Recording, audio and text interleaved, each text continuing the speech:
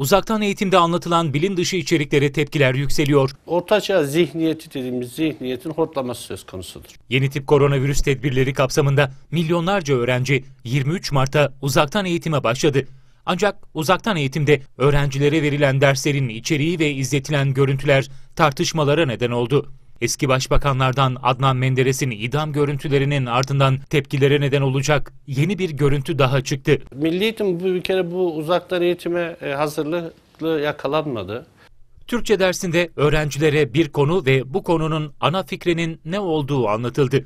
Konu kısmında babasından bağ kalan bir delikanlının cimriliği nedeniyle babasının bedduası sonucu kuşa dönüşmesi örneği verildi. Bu konunun ana fikrinin de cimrilik yapmak insanın elindekileri de yitirmesine sebep olur görüşü savunuldu. Babanın çocuğuna bedduası söz konusu.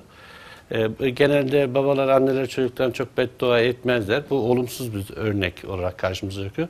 Ders içeriklerine yönelik eğitim camiasından da tepki gecikmedi. Öğretmenler bilimsel çağdaş eğitime vurgu yaptı. Eğitimde bilimsellik gözetilmiş olsaydı, laiklik gözetilmiş olsaydı bunların hiçbiri söz konusu değildi. Belki bundan da ders alınarak işte bilimsel eğitim, laik eğitiminde dikkate alarak çocuklarımıza yönelik bir süreci belki bundan sonra görürüz diye düşünüyoruz. Ulusal kanala konuşan Eğitim İşbirliği Şube Başkanı Turgay Kaçan, ders anlatan öğretmenlerin nasıl seçildiğine de işaret etti. Milli Eğitim Bakanlığı okullardan öğretmenler istedi bu programlarda öğretmenlik yapmaları için. Bir arkadaşımız gidiyor, evinden alıp evine bırakıyorlar. Çekim yaptıktan sonra kendisine kriterlerine uymadığı söyleniyor. Milli Eğitim Bakanlığı'na soruyor oradaki görevli arkadaşlarımız. Diyor ki işte kriterleriniz nedir?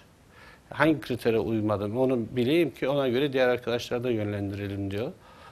Bir kriter söz konusu değil. Öte yandan Kaçan, eğitime ara verilmesinin ardından özel okullardaki durumu hatırlattı. Kamuculuk çağrısında bulundu. Nasıl ekonomide kamuculuk ön plana çıkıyorsa eğitimde de kamuculuk ön plana çıkar. Sağlıkta da kamuculuk ön plana çıkar.